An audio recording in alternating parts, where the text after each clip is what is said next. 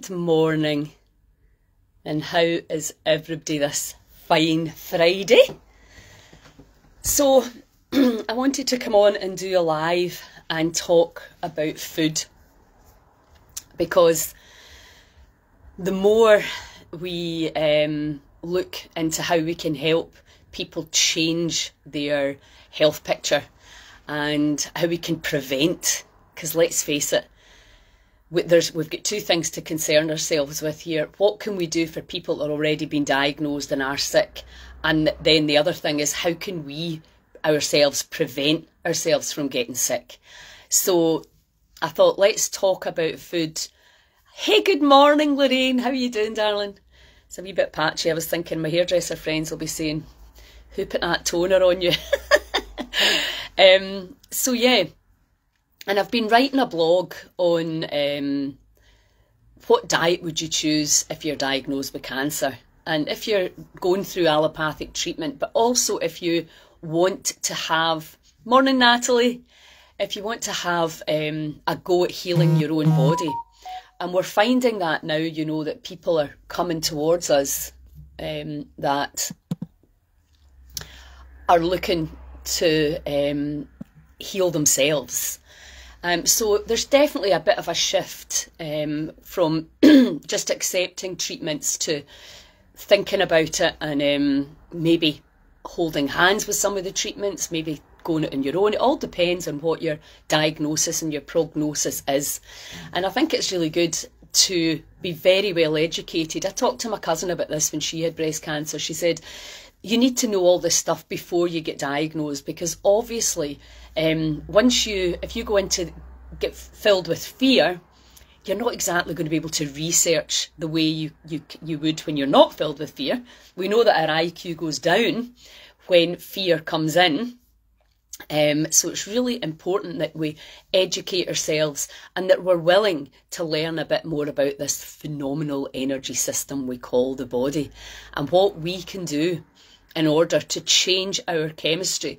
Now, I don't know if you've seen the the new research from Joe Dispenza's work, um, how they're changing the chemistry with meditation alone. Well, he's got a book, Healing by Thought Alone, and how when we think about certain things, how it influences our electromagnetic field, how it influences our genetic expression, our epigenetics because what happens is we're changing the information inside.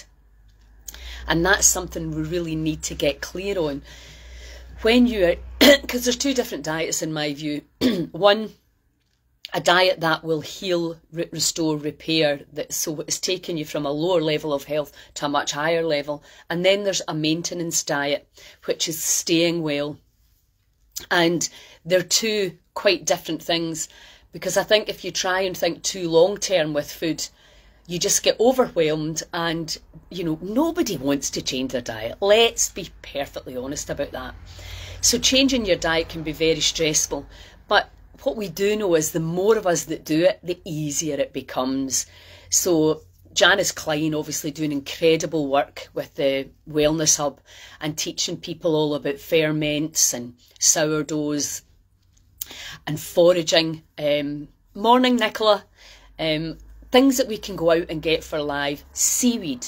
In two weeks, we've got Rory McPhee coming to the farm. We're going to be foraging seaweed, and Rory's going to show us all that. I mean, he's been all over the world um, learning about seaweed and dishes that you can make from this absolute powerhouse of nutrition.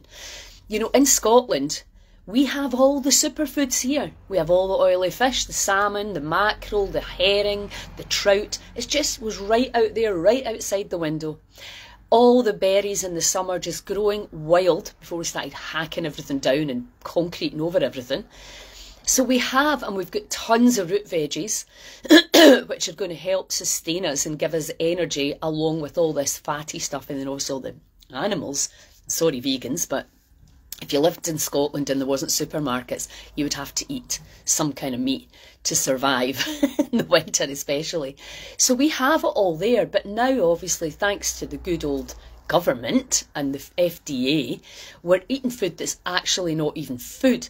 and we're it's going into the body and the body doesn't simply doesn't recognize it so it's got two options three options one it just sends it right through the other side so you'll find things like IBS and Crohn's. Um, people are actually ulcerative colitis. The, that the food the body's like get this out of here get this out of here. You can bloat you can be exhausted um, or a combination of all of these things varying depending on what the state of the digestive system. Now, I'm doing, as you know, we've got this, we're just doing a ton of training on sound healing, vibrational healing, the electromagnetic field, and how we can really use our technology to help prevent disease. But the harsh reality is, in between being at the farm or coming to see myself or Stuart or Helen or any anybody that's going to help you, you have maybe that one hour or what that one week, but then most of the time it's you in your own house going to your work, and it's the day things that we're doing daily that can take us towards health or take us towards further dis-ease. And of course, food plays a huge part in that. Now, can you do it without changing your diet? Yes, but it's much more challenging because that's when this has to come in. And if your microbiome is not happy, then you're not going to be happy either because the microbiome is transferring its it's like give me this give me sugar give me carbs give me wine give me bread whatever it is that you're craving because that's what you normally eat and that's what your microbiome is shouting for so when you go like i just started juicing again when we did the, the august challenge and i said to kirsten it'll be good for me to get the juicer back out i'm a big fan of juicing. And, um, and now I'm starting craving juice. Of course, because I've been drinking it every day for the last few weeks.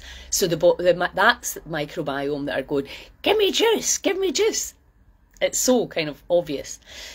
But maybe more importantly these days is the the actual understanding of the gut brain, gut heart brain axis and connection and our memory with Alzheimer's being terrifying and they're calling it type 3 diabetes, which is all sugar and simple carbohydrate led, and stress.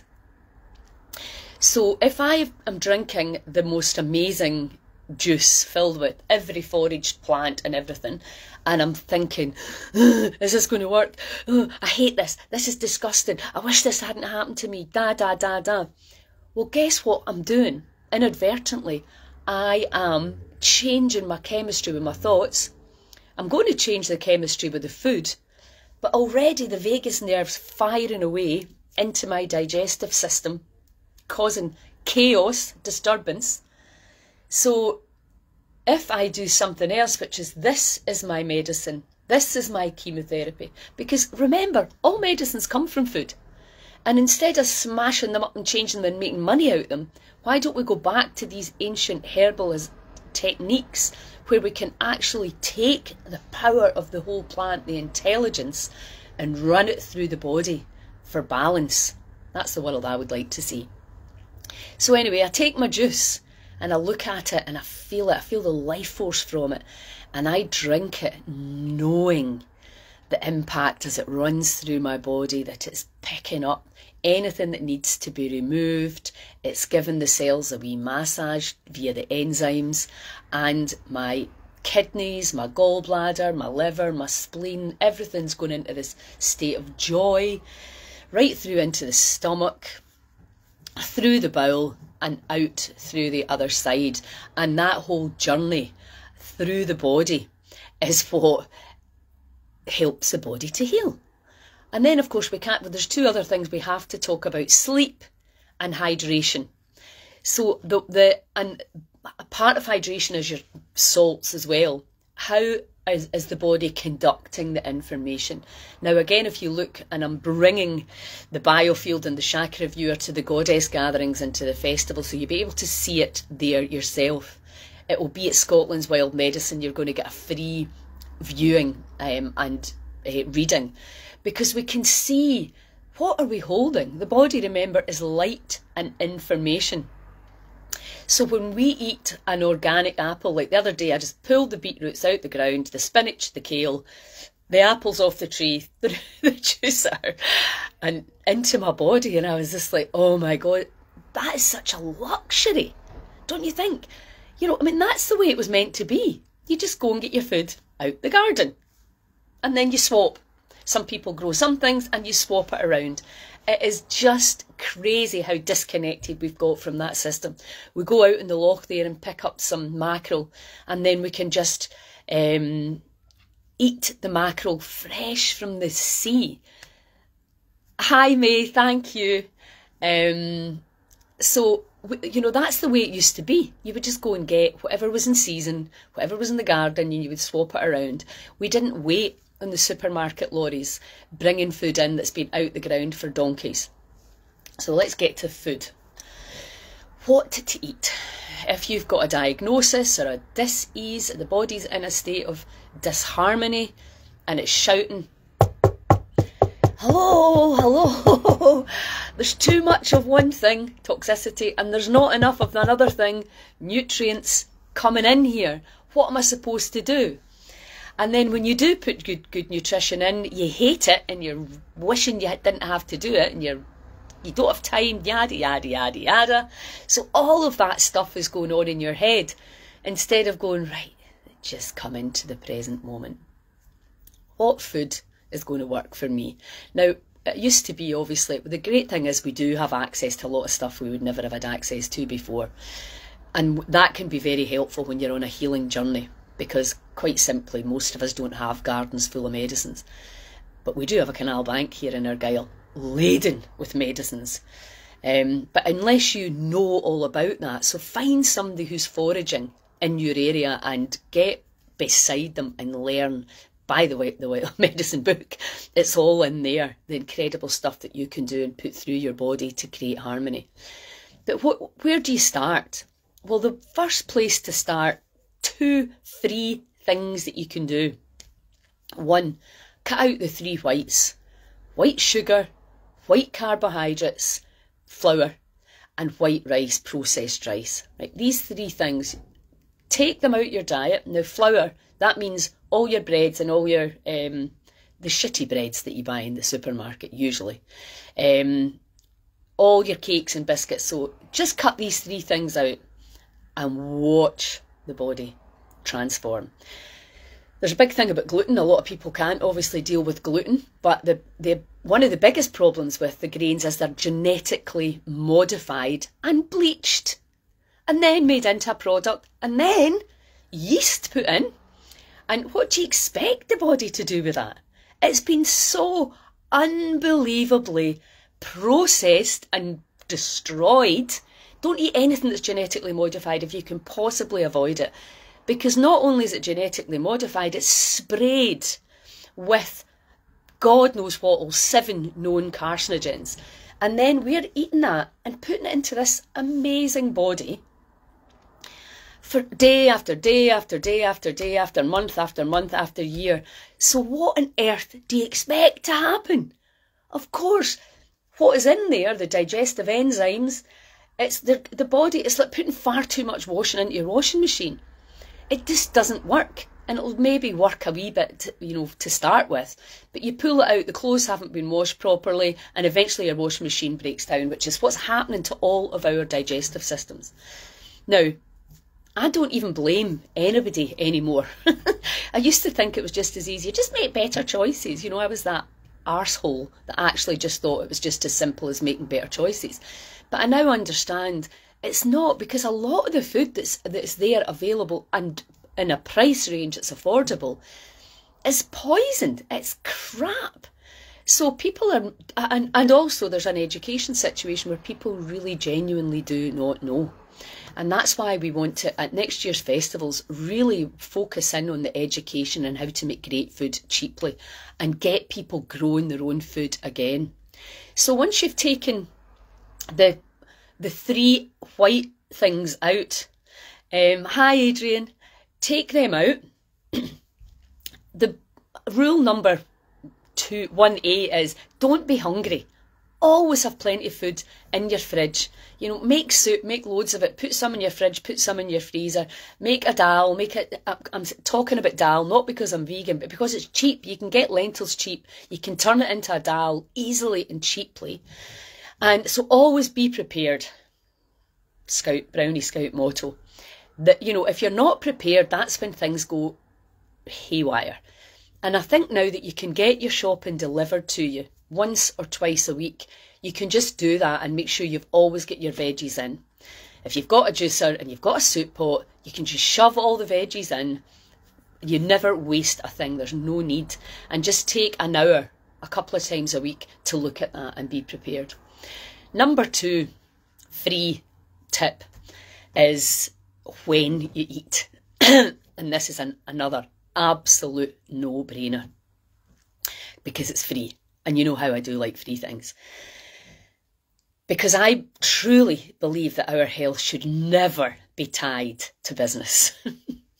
and I also believe if I know something that can help your health, you shouldn't have to pay me to get that information. I just think that's mental on every level. anyway, I digress. When you eat, what time are you eating? Now, there's a brilliant book called, oh my God, it's about girls fasting. Fasting for girls. There you go. Because we are, men and women are different, regardless of the current climate. We are biologically different. And we have these very clear cycles, menstrual cycles, which really affect how we feel, what we do, what we should be doing.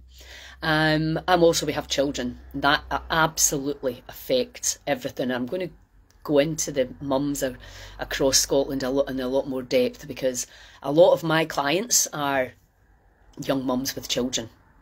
And I'm like, how do you try and heal when you're trying to raise a family and do and work a job? So that's something we need to look at closely because our government's not going to do it. But when you eat is key to changing everything because you think 80% of your daily energy, give or take, goes on digesting your food. Okay, that's a lot. So, digesting food takes a lot of energy, and you might notice, as I often do, once you've eaten, you get tired because the body's like, right, lie down while I try and make sense of all this stuff you've just shoved into your body, right? So, you've got 20% energy left to do all the other amazing things that you want to do in your life.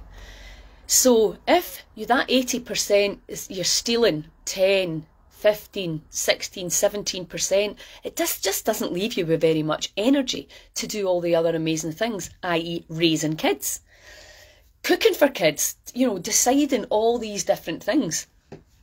I've got ideas about that as well, about how we can communally feed our children and cut down because I don't know about you, but that used to be one of my biggest stresses. Breakfast, lunch, dinner, breakfast, lunch, dinner every day for 15, 20 years. It's exhausting. So the time that you eat, and again, this is a really good habit to get your kids into, no food, to, preferably three hours before bed, but maybe two hours before bed. So the idea of supper, they get their supper. If they go to bed at eight o'clock, the last fill up is six o'clock they go to bed at nine. You, you can you can make it six. It depends what issues you're dealing with. So that because what happens then is you digest your food before you go to bed, and then when you're in bed, providing you've not got your computer on till two in the morning, the healing hormones start to flood in between ten and two. And again, people want to correct me because they usually do. It's not an exact science, but this is a ballpark. Um, so the healing hormones start to flood in when you're in these states of sleep and we've got all these deep states where the brain frequencies change and the body literally re- restores and repairs and revitalizes itself if all these things are in place if you want somebody to build you a tiny house and you don't give the person the builder any building materials the house can't be built and it's the same with us long term, we need to be thinking, let me give the body the building bricks that it needs, i.e., real whole foods. I mean, it's so obvious, isn't it, really? And then it can do, the microbiome can grab a hold of all the little bits and pieces and fix things. Now, genuinely speaking, I don't think we have to be hugely, hugely um, complicated about food. You know, there's nothing wrong with a good old fashioned plate of mince and potatoes with lots of carrots and turnip and onions and some broccoli. You know, that's a good dinner if it's good quality beef and, you know, preferably organic um, veggies, especially anything that's got a skin. But you can soak your veggies in bicarbonate of soda which and that will take or apple cider vinegar that will take the surface pesticides off until we can start actually working with our farmers to provide real foods that we don't need to pay to say it's organic because it just is. We actually have to pay to say it's covered in carcinogens. I mean it's mental when you think about it. Health and safety and trading standards. You're not allowed to say that food is safe but you don't have to say that food is not safe what is going on in our world. Anyway, I digress again. So, take out the three white things white sugar, white processed sugar, white processed flours, and white processed rice. Take that out. Stop eating two, preferably three hours before you go to bed. Now, I found that quite a, an interesting wee habit to break um, because when I was looking after my mum, I was in the house and I was bored. And I was eating because I was bored and because there was a lot of shit in the house, which I realised I'm just like everybody else. If that's in the house, um, then I'll eat it. so it's obviously much, much easier if it's not in the house. Yes, Kim, and I think that apples, apple trees are everywhere in Scotland. Um, you know, it's one of the things that we can easily have um, just grown you know, wild. We should ha- that's what we should have all over our green areas so that we can get these apples and then we can make them into delicious desserts and a great snack for the kids and we know that they're safe and they're not coated. But also we need to be looking at the quality of the food and why we're allowing the government to sell that shit. It makes no sense whatsoever. So the gut biome. Um, thanks, Stinky. Um, so the gut biome, let me get, because I'm doing a lot of training in this because it really, you can go down a rabbit hole of parasites, amoebas, prions, oh my god, worms, tapeworms, all of this stuff, um, which is really, really important to know because what can happen is, and this is why ivermectin works, is it's a dog wormer, yeah, but we're, dog's just a, a, a mammal like us and it takes the worms out. And when the we get take the worms out, the body can heal. You know, so thanks, Anne. We're what because what we're still doing is we're looking at the symptom. Oh, I've got arthritis in my shoulder. Almost certainly gut. And um, especially osteoarthritis. Rheumatoid arthritis is a different thing completely.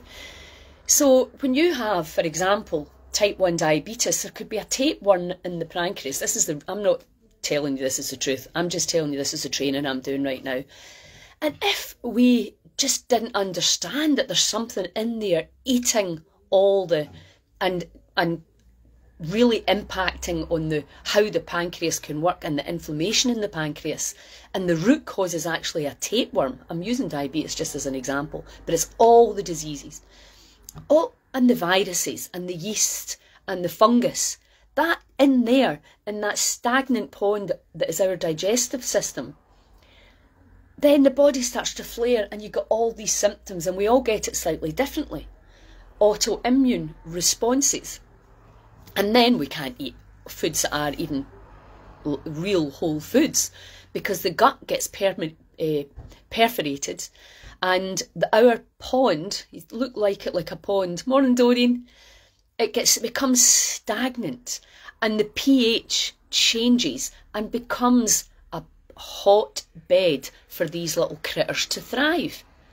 Right? So and then what do we do? Oh, take a pill, cut something off, cut a bit out, blah blah blah. And that may be necessary in some situations, but it's absolutely unnecessary in a lot of situations when we start to truly understand that the body's an ecosystem like the barrier reef and everything lives in harmony when the water is clean and the temperature's right.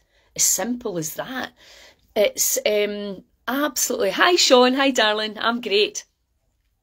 So instead of so looking at that bioterrain, and we know that emotions impact the gut hugely, hugely, hugely, maybe even more than the food, to be honest. But the food gives us the baseline and starts allowing the heart and the brain to communicate. The hydration, the salts, allows the flow of information. Take out the shit that feeds inflammation and and then just spend a few weeks, you know, tapping. I'll do a video on that about any food addictions, about not being enough. Like my clients, if they're trying to heal something that they've been told they can't heal, um, they've got the fear from the doctors. You can't do this, you can't do this, you need this, you need this. You've got somebody putting their belief system right onto you. And it's like, what? And you, you need to have a certain kind of intuition and courage to say, that's your belief system, that's your point of view. My body, my ecosystem. I know what's right for me in here, and that might not be something that I don't even know. Like I'm I don't know what people's bodies needs, but can I help you tap in to listen deeply into that innate wisdom and intelligence? Yes, I can. But then you go back to the fear, but what if what if I die? well, we're all going to die.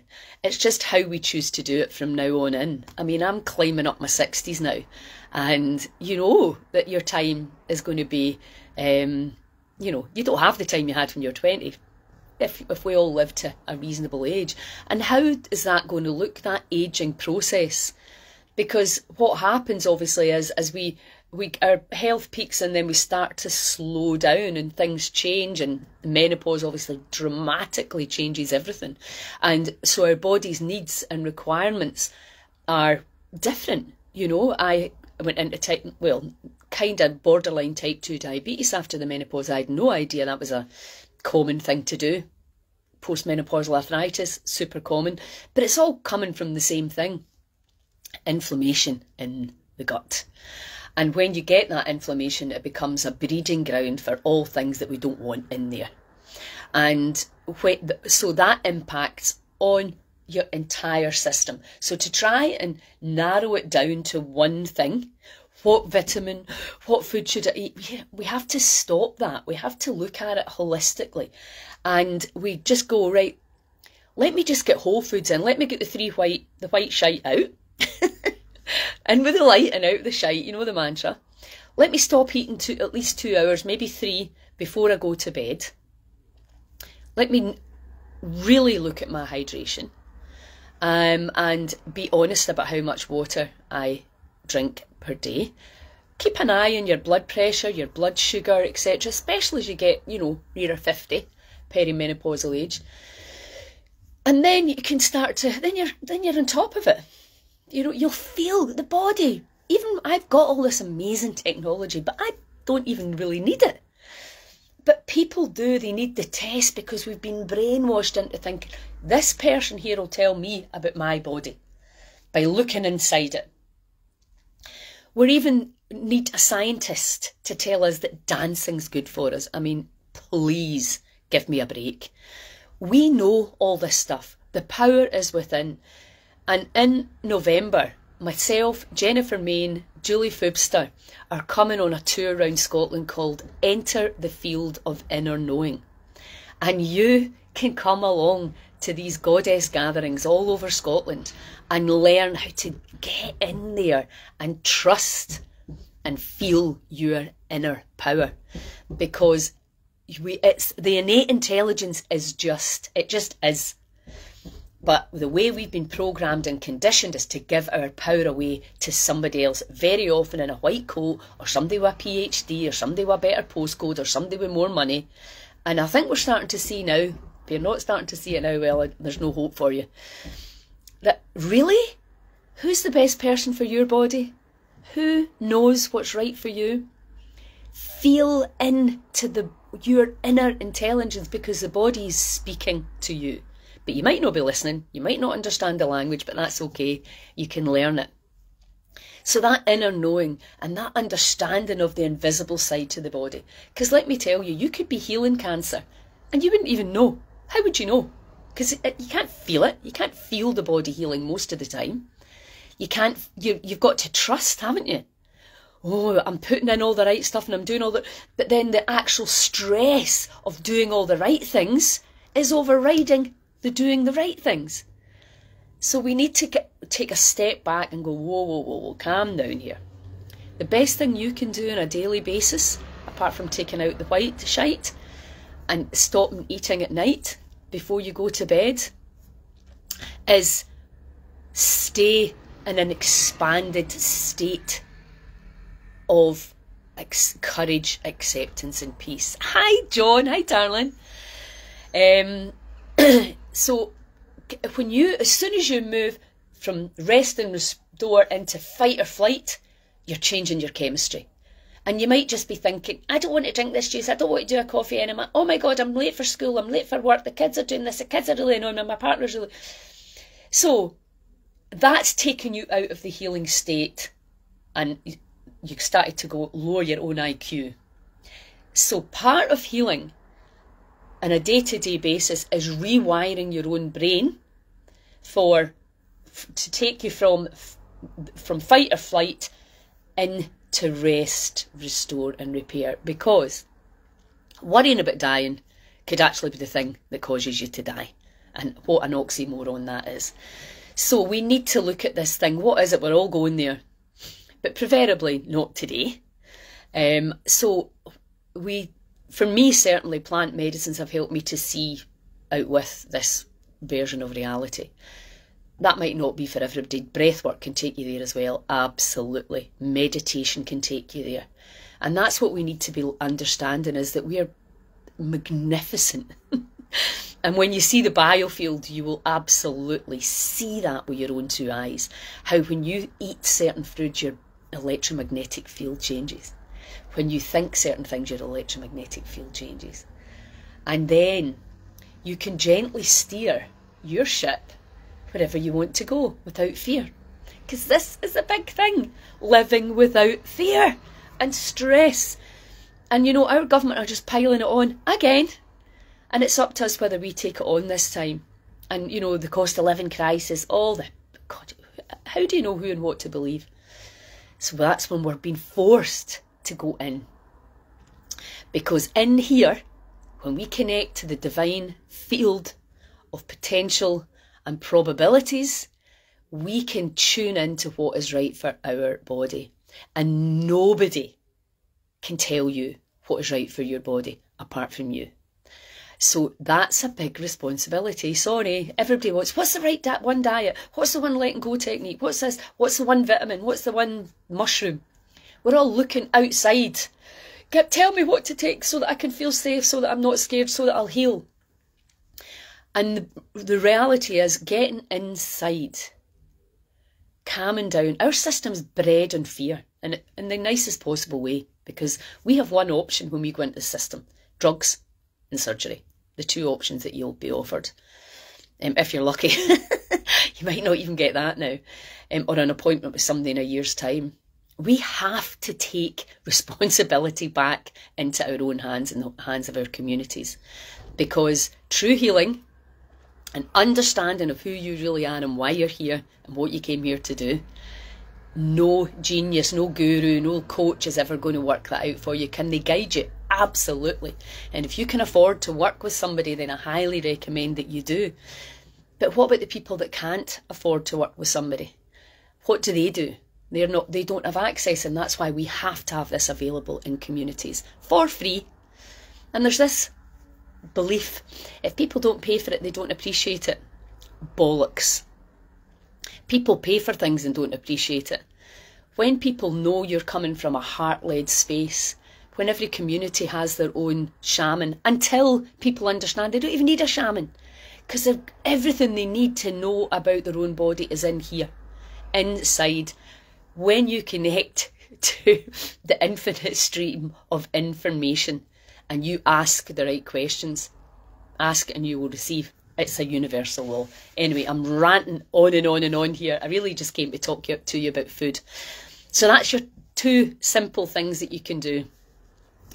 And if, interestingly enough, my cousin was, uh, she said it's bread. She just took out bread and her whole health picture has completely changed. So again, we're wanting somebody with a microscope, somebody with a pill to tell us if you are well enough and you're not terribly addicted and you can make better choices, then please do that. And what we need to look at as well, and my friend Hilary, I'm going up to Skye next week to teach there. Um, and we're going. She's written a book, The Sweet Cure, because she was a self-confessed sugar addict. So we'll look at well, what can we do emotionally to stop ourselves because it's all one. They say that sugar's more addictive than heroin. I don't, and they reckon that a third of our population is addicted to it. So, but that's something we don't talk about because it's legal, and let's face it, it's bloody well everywhere. Um, and it's very difficult to keep your children away from it. Very difficult. You, you know, you're seen as a bit of a freak if you try to even contain the amount of sugar they're putting into their bodies on a daily basis. So, but we need to get that word out and we need to have the right support and understanding about the microbiome causing the cravings and what you do to rewire your brain for um, making better choices. But ultimately, what the thing that's going to make it easiest is if we all do it together. Community.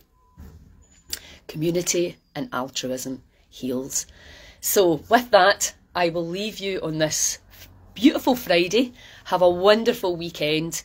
And please share the word about Heal Scotland. If you know anybody in Skye, then um, please let them know that I'm coming up there. We're doing free workshops, free food. It's going to be amazing on our beautiful island. Um, Yes, Claire. We'll, we'll, we'll, we're going to, Hillary and I are going to do some stuff on sugar addictions and how to uh, minimise it and how to eat sugars that give you nutrition as well, you know, via um, cacao and fruits and stuff like that. So we'll give you, we'll be giving you lots of good tips. Um, and next, in two weeks, Rory McPhee is coming to the farm. We've got two places left. Foraging for seaweed. Rory is just like a mine of incredible information. And we're going to be eating, he's going to be cooking for us all this delicious food. Check out the menu. It is absolutely orgasmic. Um, and we'll be at the farm. You'll get all the phenomenal salads and stuff that Andrea's been growing there. It's just quite remarkable right now what we've got there. Um, and next weekend, next Saturday, I'm at Connect Festival doing a talk, I think about half past five um, on the Saturday. So that's very exciting. So I'm going to be in Skye from Tuesday, from Tuesday, well, Wednesday through to Saturday, and then Edinburgh Saturday, Sunday, Monday. So, um, yeah, please share the events, share the love, share the message, and um, yeah, let's get let's get this country's health picture turned round because we can. Huge love. Ciao.